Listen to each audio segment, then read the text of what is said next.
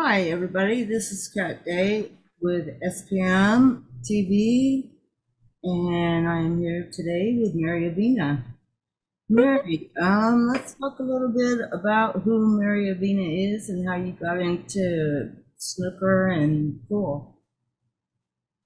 So, um, I went into pool as an accident. Mm-hmm. I went to a bar when I was modeling and I fell in love with pool. And I just started playing pool every day. I quit everything else I was doing, and all I've been doing since is just playing pool. Did you quit modeling too? Yes, I quit. I quit uh, I quit modeling just to play pool. All right, and let's talk a little bit about your schedule that you have going on here. You're going to the Canada to to Canada to the Predator Canada Women's Open, the 17th and through the 20th of August. And then you're going to the U.S. Women's Snooker Open on August 26th to the 28th in Yes. Seattle. And then it gets worse. So I'll be on the road for two weeks. Uh-huh. And then I get home. I'll be home for days. And then I'm going to the Texas Open. All right. So it's it's actually quite a lot. But Yeah. the snooker tournament's a historical event, so I have to go. Yeah, definitely. Um, the first one in the in the United States. yes, it's a big step. And I was gonna go, go play snooker in Europe anyway, so this is gonna be a nice step towards that. Uh-huh. You know, I'm already invited to go to Europe, but I there's nice idea that I'll be able to play at home, Right. you know. And it's just they already picked up Microsoft, so this is a big deal, Yeah, you I was looking at some of their sponsors. They have hmm um Tayum and Lippman Lights and a bunch of others, but hmm a well-rounded assortment of sponsors. And it's also at a brand new game room, Ox Billiards, which is beautiful. I'm really looking forward to doing. It's going to be wonderful. That's great. Um, uh, have they gotten the lineup yet, or how many women have registered to play?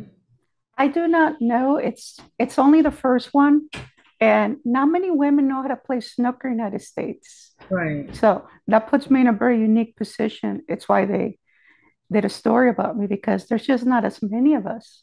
So most of the women that play snooker that live in the United States are actually from Europe. Uh-huh. Some are from Canada, but in general, most Americans, male or female, have never played snooker. If they have, it's very little. Right. hmm Okay. Um, what age did you turn professional, and when did you begin entering tournaments and earning money from the game? Well, in order, I started earning money right away.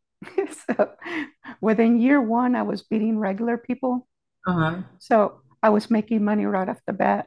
I started playing tournaments uh, prior around that same time, but you know, there was not as much money in it. So I kind of then I went into playing for money. So I made I was playing for money. I made a lot of money playing snooker. I used to play 10 by 5 snooker for money. Uh-huh. I clocked over a thousand money games in just over a year. So that was wonderful. So happy doing that. I wish I could do that now.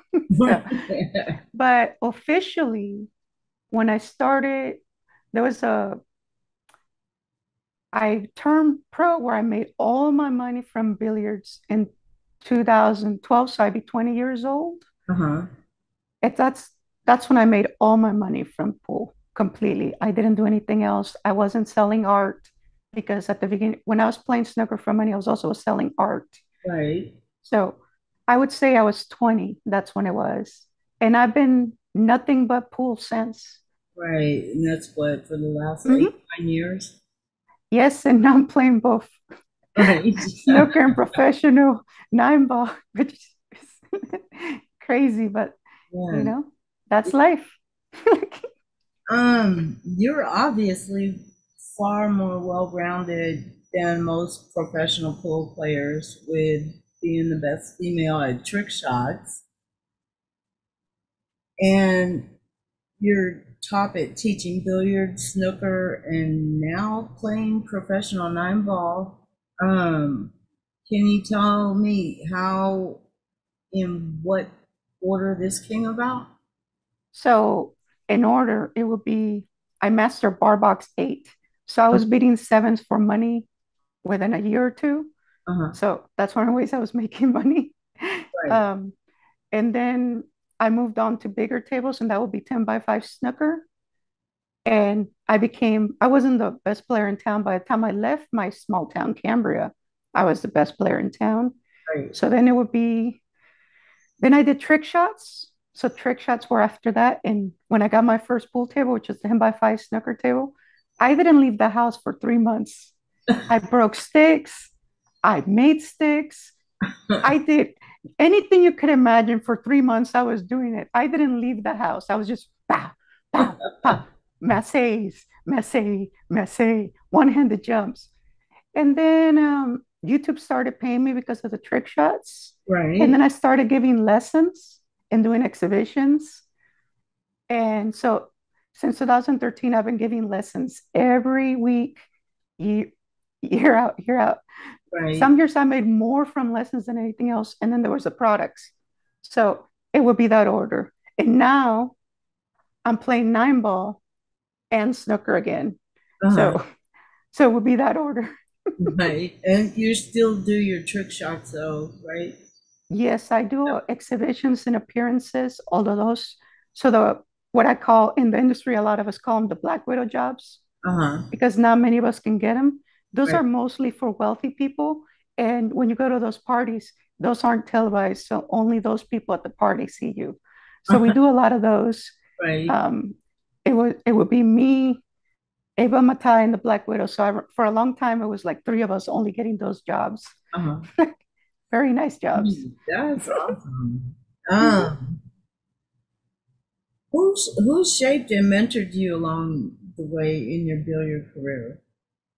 Well, I would say my dad, even though he doesn't play billiards, that was at the beginning, it was all my dad's, my stepdad talking to me in my background in my head, all Right. the stuff he taught me as a child. And then after years of playing, I finally found people that I connected with because we think very much alike. And that Uh-huh. was the Filipinos. So that would be Efren Bustamante and June, who has passed away since. Right. So that they were my mentors all together. That's why I learned the most from, you know, I learned so much more from them that I learned from anybody else. So when it comes to the men players that you look up to the most, it would probably be Efren Reyes and Bustamante. Well, I'm biased, obviously. Right. Um, So I admit I'm biased. So definitely Efren because he the we think alike. So it's very easy for me to see what he's doing. And Uh-huh. on the snooker side, it would be Ronnie O'Sullivan. Although Right. I don't know Ronnie O'Sullivan, but he does play very similar to the way I play when I get going. Uh-huh. So that again, I'm biased. And what female players do you look up to the most? Well, obviously the Black Widow, because everything I have done in a lot of ways is thanks to her. Uh-huh. So she paved the way for a lot of the stuff that I was doing. Like a lot of my best jobs, year for years, you know, selling the products and doing appearances and exhibitions. A lot of that was laid down by her. Uh-huh. So without her being there first, I would have never been able to do what I'm doing. So, Right. so definitely the Black Widow. That's You know, right? yes. Um, does she play snooker too? No, no. Okay, I was just curious. No, sadly, you know, snooker is so much more difficult, and there's so few tables in the United States. Right. So a lot of it is also the lack of tables. I have to drive four hours away to go training. Uh-huh. That's the closest 12 foot snooker to my house. Right. So whenever I have time, I go there. And where's that at? It's um, Q Club in Houston. Uh-huh. eh, Q, anyways, and it's owned by Manny, and he's wonderful. So that's my official training center of snooker at the moment. But um, I'm actually talking to several of my backers, and it looks like I'm just going to put one in my house. Right. That's the next step. Right. So you have a pool table and a snooker table. Well, maybe at first, because my house, I'm remodeling it. Uh-huh. Um, I'll probably at first have to get rid of the nine footer and put just a 12 footer because I have, I'm the house pro and also I have access to many diamond tables. Right. So where I'm house pro, I can just go train on nine footers. And then some of my students also have tables, Right. but they don't have 12 footers, so I'm better off having a 12 footer. Right. like, Um, how many hours do you spend a day training? it's between four and seven. Uh-huh. It depends. So right now, because I'm trying to reach a level of mastery at professional nine ball and snooker on 12 footer, it's just it's just endless.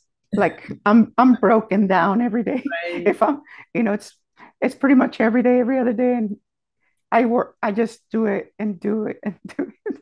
I was listening to um Jayson Shaw talk, and he has spent since or what was it, the World Cup or something. Um, Mhm. He went on a holiday, and then he has done. He got off of social media and was just he'll like practice three hours in the morning, three hours later, or go and exercise, then practice more, then do something else, then practice more at night. And That's what you have to do. yeah, he's I mean, it's there's no way around that. If you want to be great, you have to put in the work. yeah, There's no shortcuts to life.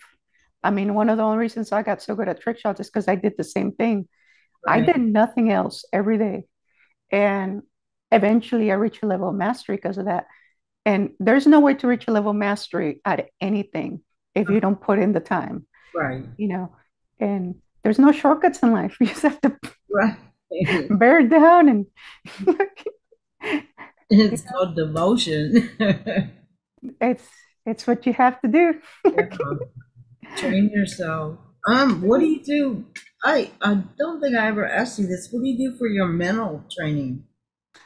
Well, technically, um, I've because I coach, I'm actually certified in NLP Uh-huh. and hypnosis and sports psychiatry, a bunch of things. Right. So I use that, and also I read a lot. So I read quite a lot. So I read a lot of the coaching books on golf, basketball, martial arts. Uh-huh. So I read quite a lot, and also I'm certified and basically the stuff you te Tony Robbins teaches. Uh-huh. So that's also why I end up coaching so many other professionals. So because I know the mental side much better. Right. That's great. Um, over time, you managed to generate a business from your love of playing billiards. How did you go about achieving this? Well, again, it goes back to my stepdad. My stepdad was a businessman, and Uh-huh. he never talked to me like I was a child. He was explaining business when I was a child, like I was a grown up. Uh-huh. So, and then when I had the background in modeling when I was a kid, and so I took all of that information, and when I started playing pool, I treated pool kind of like, like a business. And I follow simple business models. I always look, who's the client? What do they need? Uh-huh. It's so it's a very contrary way of thinking that most pool players have. I actually look at the environment, Right. what the environment wants, and can I provide it? And if you do that, things are pretty easy. It's why we were able to sell uh, so many DVDs, Right. because that's what I, there was a niche, and we took it and we sent tens of thousands of DVDs. And that's why I've had over 300 products carry my name. You know, it's you find a niche and you keep working at it. Right. When you say you have 300 products carrying your name, Yeah, it was a lot. I don't even know how many chalks it's been. Oh wow. So, um, so when I was a kid, it was funny because people were mocking me because I was using magic chalk because Uh-huh. it was two for nine dollars. And then like that, like a day later, peop I was I was sponsored for a short time by Kamui, and Uh-huh. people were selling $30 chalks. So I worked really hard and I made chalks and since I've retired them, but you know, I was selling them for nine dollars and everybody thought that was the greatest thing. And I've I've made came up with lots of different ones. That's just one example. Obviously, I I don't even know how many DVDs we went through, Right. different DVDs. Uh-huh. So we have we had matches from old days that I remastered. We also had the instructional DVDs. Um, so it's so many things. And then there's also pretty much anything billiard related, except for a pool table, has had my name on it. Right. Like if it, if I could find somebody that wanted it and I could make a profit in selling a good quality product, I did it. But I have since closed all of that down since COVID. Things really, really went awry for me during COVID. You Uh-huh. know, I lost, I was making, you know, okay money from the products because the video DVD sales had dropped to close to nothing. Right. And then the other part, I was really making most of my money from lessons Uh-huh. and then from appearances, appearances. But so COVID really took me down. Right. So Now that it's kind of eased up and is things started to pick back up again? I will start selling products next year again, Uh-huh. but I I've been so busy, you know, I did not see it coming. The WPB asked me to play, Right. and I was playing one big tournament a month, you know, one open tournament. So I Uh-huh. was playing with the men, you know, I wasn't even, and then the W, no, so now I have to prioritize the WPBA and now the snooker. So I've been definitely overwhelmed. Right. You've just been going nonstop. Yes, and then I still have to keep up with the lessons that I I have weekly students if I'm home. So it's it's it's quite a lot. So Right. Um, what particular skills and or what do you enjoy most about teaching students and sharing your your skills? well, what I enjoy most is that most of my students are the captains of their lead team. Right. So that's the majority of my students. So what I teach them, they end up teaching everybody, Right. and it spreads. But and then when I teach pros, it's the mental side. So I'm not really teaching them, I'm coaching them. Right. And that's a beautiful thing because you're helping someone that's already magnificent reach their maximum potential. Right. So like they're here and you're taking them here, you know, and they already surpassed everyone else. Everyone else is here and they're here. Right. But I really love teaching on video form the most. Uh-huh. Obviously, I've been a little busier than usual, but that's where I really love the most because it reaches out the most people. And Right. that's where I really love because all that help, everybody getting better, they send me those emails and they ask me questions, you know, true questions, you know. Right. That's what I love the most because when I teach in video form, it reaches the most people, you Uh-huh. know. So I really love the impact it all makes. So when you say video form, do you have online classes or I have a lot of teaching videos I've done over the years, and also back in the day, the DVDs we made. So the DVDs are no longer selling very well. So that has more or less dropped out. Mhm. But, you know, my production company has DVDs are just not as profitable as they used to be. So I'm not pursuing that. But yes, I also have a lot of videos on YouTube where I teach individual things. I used to have more, but I actually took a lot of them down over the years because of the copyright issues with YouTube. Right. So, Um, what's your greatest billiard achievement to the date? when honestly, for me, it's just that I've been making a living from it for so long Uh-huh. because it was such a harsh environment where I started. So many people told me it was not possible. So, great players, by the way. Right. People that can run racks told me that it was not possible to make a living from billiards. So for me, that's my biggest accomplishment. Yes, I've won a lot of, but for me, it's just that I've done something that I was told couldn't be done. Right. Achieving, yeah. And it seems like when somebody tells you that you can't do something, that just makes you want to try that much harder to prove them wrong. Well, it was I understood something they didn't because of my business background. Uh-huh. Um, that it was a lot of it was their skill was not the problem, it was the way they were approaching the other parts of the game. Right. So there's a lot of other parts of the game, and they they didn't approach those correctly. They Uh-huh. never thought about other people very much. They were about winning and winning and winning, and they didn't take the rest of the world into consideration. That's not enough. You can be the greatest player on earth at any sport, but Uh-huh. if you're not benefiting the rest of the world, you know, Right. like, Hmm. Let's talk about your sponsors. I have wonderful sponsors. Number one, Fort Worth Billiards, Uh-huh. which of course they're wonderful to me. And they hooked me up with Bull Carbon, and now Bull Carbon's my new sponsor, one of my newest sponsors. Uh-huh. And then of course Legends, where I'm the house pro. So there I get to practice and I give a lot of local lessons and you know, and then there's Texas Senior in Construction, then there's Aspero Photography, and there's Pro Surface and Design. And all of them do their part. I'm not doing this alone. You Uh-huh. know, what any one little part. you know. Right. What does Pro Surface and Design do? Construction. Okay. So it's construction company. That's cool. Right. And let's talk a little bit about the sparrow. Photography.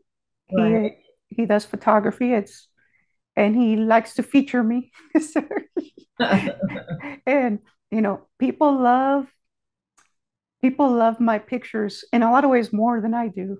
So it makes people happy, and so I do it. Yeah, I saw something with you today. I went to your Facebook and oh my goodness, the food. I was like, this girl loves food. Yes, people love my how much I eat is a big, big factor in my popularity with women. So Uh-huh. women that know me or follow me on Facebook, even if they've never met me, they're like, your food pictures. because I eat, you know, Right. that's the the other reason I didn't like modeling because I like eating right. and I had to be underweight and that's extremely difficult, you know, because you basically can't eat that much, Right. you know. So, Basically starving. mhm. Yeah. Um, what there was a favorite Russ said there was a favorite place you like to go before you play tournaments, but it, I don't think it said the name. There's a lot. It's more about my mood, but if I'm traveling, usually Uh-huh. Cracker Barrel, Okay. Cracker Barrel, or any delicious steak restaurant. So those, you know, if I'm traveling, Uh-huh. those are, you know, because that's a lot of it. Steak restaurants, Cracker Barrel. Right. Do you exercise or anything? Um, not right now. I I'm so busy and I'm running around so much that I don't have You're getting exercise running around. Yes, I mean it, it takes like right now I'm I'm relighting my game room. So I'm like on top of my pool table and nailing things and so you do you're active enough. You don't have to work out. Right. if Mary, if you could give any advice to to the players out there that are watching this, um, what would it be? Be good to each other, be useful. If you're useful to the world, the world will reward you. So it's winning is very important. You have to do it. But if you don't learn to share whatever you get with other people, Mhm. you will never be rewarded at the same level. So you have to learn to think about others too. And unfortunately, competition doesn't necessarily bring that out in people. Right. And once the game's over, you got to go back to think you're on the same team. Exactly. You know, Because I, remember talking with Jayson Shaw, and I know that he he's played Darren Appleton, but he gave Darren a big. Um, he really um looked out for him in the interview, and you know, said why he was having why his game wasn't right on spot, you know, and stuff. This is Mm. quite some time ago, but it was really nice, you know, to see him looking out for Darren like that. And it, it you know, if, if more players did that, I think it'd be great. If it's what we all have to do, Right. but unfortunately we don't do it as a group. You know, if everything would be easier, we cooperated a little better. Yeah. Where where do you see yourself in five years? Well, in five years, I'll probably be doing the same thing. I'll just be playing more snooker. Right. So that will definitely be a thing I'll be doing more of. Um, aside from that, there's a lot of stuff in the air. So there's a lot of, I'm talking to producers and business people. So that stuff is not all up to me because I'm only one part, small part of the cog of the machine, Right. you know? They talking to producers. Yes, so um so people like me, so that would be Emily Duddy, hmm the Black Widow, and back in the day, um Ewa Mataya. We do get approached quite a bit by TV people, but it almost never happens. Right. So it's so it's one of those things that because unfortunately, because I'm under 30, I came in at pool at the wrong time, kind of. So even though I'm very popular, pool is not very popular by itself. So Right. that means that every every I talk to TV producers and then they talk about making a show and then it doesn't get made. So, I would love to see billiards back on TV.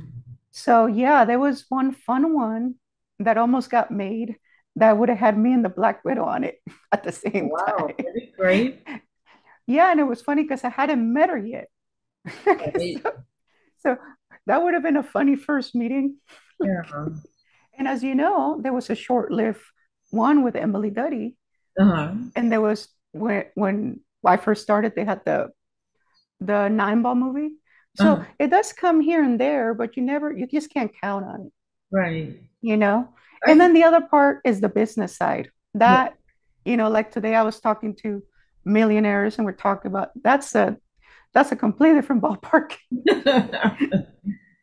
Contracts and all that kind of stuff, right? It's tricky. Yeah.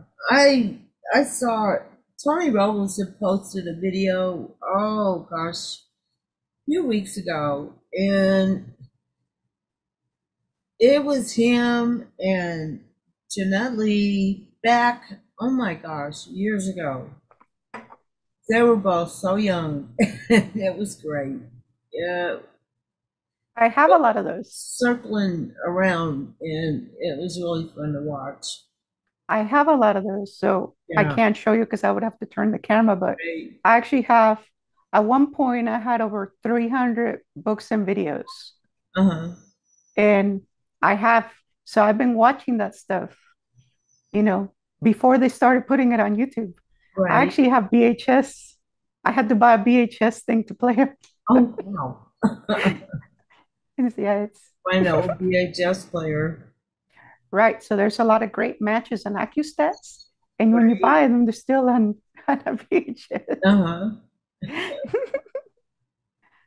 My cat's trying to walk up here. hmm Um, is there anything else you want people to know out there that's going on with you that they don't know or that, I think um, I would like to say that I want I want them to look out for the new players. right? So obviously Savannah, you know, the Roadrunner. Oh, yeah. I Savannah think is- people should should follow her. And then the Sofia Mast, the Yeah. Pink Dagger. She was fantastic. I was I was watching her at one of the open events. She was fantastic.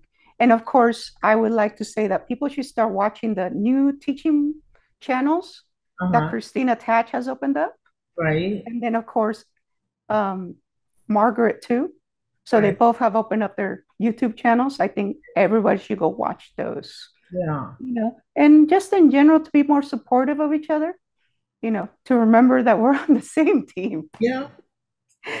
What's You know? important. you know. You? Um, Trying to think, is there anything else that we're leaving out or that you want to say? before- No, I think I said, I mean, we can always talk about new things next time, Right? but I think just support each other, you know, be good to each other, you know. It won't hurt you to like somebody else's work. Right? Yeah. Well, it's been great talking to you, It's been a pleasure. and thank you so much for being on SPM TV.